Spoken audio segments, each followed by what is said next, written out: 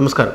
ഇന്ത്യയുടെ ചന്ദ്ര പര്യവേഷണ ദൗത്യം അതായത് നമ്മുടെ ചന്ദ്രയാൻ ടു ഏറ്റവും അവസാന നിമിഷത്തിൽ തകർന്നു വീണത് സോഫ്റ്റ് ലാൻഡിംഗ് നടത്താനാകാതെ തകർന്നു വീണത് ഇന്ത്യയ്ക്ക് വലിയ രീതിയിലുള്ള ആഘാതമാണ് സൃഷ്ടിച്ചത്.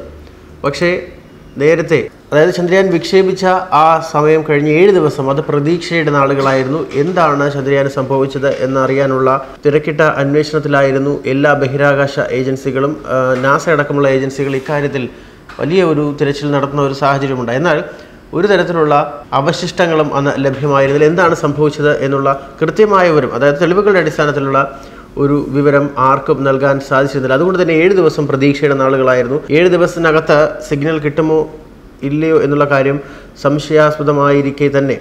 നാസയും ഈ ഒരു ദൗത്യം വലിയ ശ്രദ്ധയോടെ തന്നെ ഏറ്റെടുത്തിരുന്നു. ഇപ്പോൾ പുറത്തുവിടുന്ന ചില ചിത്രങ്ങളുടെ അടിസ്ഥാനത്തിൽ കാര്യങ്ങൾ സ്ഥിരീകരിക്കപ്പെടുകയാണ്. നാസ തന്നെയാണ് ഇപ്പോൾ ചിത്രങ്ങൾ പുറത്തുവിട്ടിരിക്കുന്നത് ഉപഗ്രഹമായ ചന്ദ്രയാൻ ടുവിന്റെ വിക്രം ലാൻഡർ തകർന്ന നിലയിൽ അതായത് തകർന്ന നിലയിൽ അതിന്റെ അവശിഷ്ടങ്ങൾ ചന്ദ്രോപരിതലത്തിൽ കണ്ടെത്തിയതായി നാസ ഇപ്പോൾ തെളിവുകൾ പുറത്തുവിടുകയാണ്.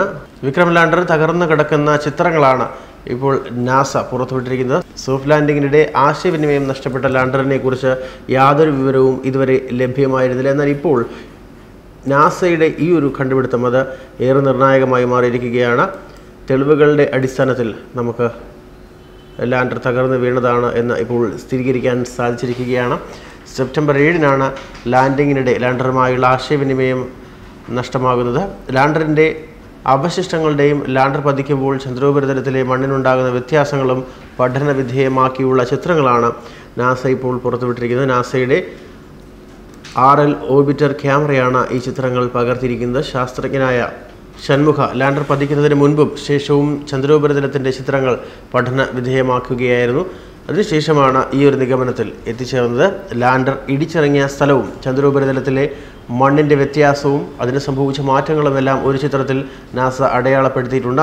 അന്തരീക്ഷത്തിന് ഉണ്ടായ വ്യത്യാസമാണ് രണ്ടാമത്തെയും മൂന്നാമത്തെയും ചിത്രങ്ങളിൽ നിന്ന് വ്യക്തമാകാൻ കഴിയുന്നത്. ചിത്രത്തിൽ നീല നിറത്തിൽ അടയാളപ്പെടുത്തിയിരിക്കുന്നത് ലാൻഡർ പതിക്കുമ്പോൾ മണ്ണിനുണ്ടായ വ്യത്യാസമാണ്. പച്ച നിറത്തിൽ അടയാളപ്പെടുത്തിയതാണ് ലാൻഡറിന്റെ പൊട്ടിത്തകർന്ന അവശിഷ്ടങ്ങൾ. സെപ്റ്റംബർ ഏഴിന് ചന്ദ്രോപരിതലത്തിൽ സോഫ്റ്റ് ലാൻഡിംഗ് നടത്തുമ്പോഴാണ് വിക്രം ലാൻഡർ നിശ്ചയിച്ച പാതയിൽ നിന്ന് തെന്നി മാറി തകർന്ന് വീണത്. അതിനുശേഷം ലാൻഡറുമായുള്ള ആശയവിനിമയം പുനഃസ്ഥാപിക്കാൻ ഐ ശ്രമിച്ചുവെങ്കിലും ഇതുവരെയും സാധിച്ചിരുന്നില്ല. ഈ ഒരു സാഹചര്യത്തിലാണ് തകർന്ന് വീണു എന്നുള്ളതിനുള്ള തെളിവുകൾ ഇപ്പോൾ പുറത്തു വരുന്നത്. അതേസമയം ഐ എസ് ആർ നാസയുടെ കണ്ടെത്തലിനോട് ഇതുവരെയും പ്രതികരിച്ചിട്ടില്ല എന്നുള്ളതാണ് ഏറെ ശ്രദ്ധേയമാകുന്ന ഒരു കാര്യം. മണിക്കൂറുകളിൽ ഈ ഒരു വിഷയത്തിൽ ഐ എസ് ആർഒയുടെ വെളിപ്പെടുത്തൽ ഉണ്ടാകും എന്നാണ് വ്യക്തമാകുന്നത്. കാരണം ഇന്ത്യയുടെ ചാന്ദ്ര ദൗത്യത്തെ വലിയ രീതിയിലാണ് നാസയും നോക്കിക്കണ്ടത്. അതിനുള്ള എല്ലാ പ്രോത്സാഹനവും ലാൻഡർ തകർന്നു വീണതിന് ശേഷമുള്ള അതിനെക്കുറിച്ചുള്ള പഠനങ്ങൾക്ക് മുൻപന്തിയിൽ നിന്നത് നാസ തന്നെയാണ്. ആ നാസ ഇത്തരത്തിലൊരു വിവരം പുറത്തുവിടുമ്പോൾ അതിൽ എന്തായാലും ഐ എസ് ആർഒയുടെ പ്രതികരണം ഉണ്ടാകും എന്ന കാര്യത്തിൽ സംശയമില്ല. എന്തായാലും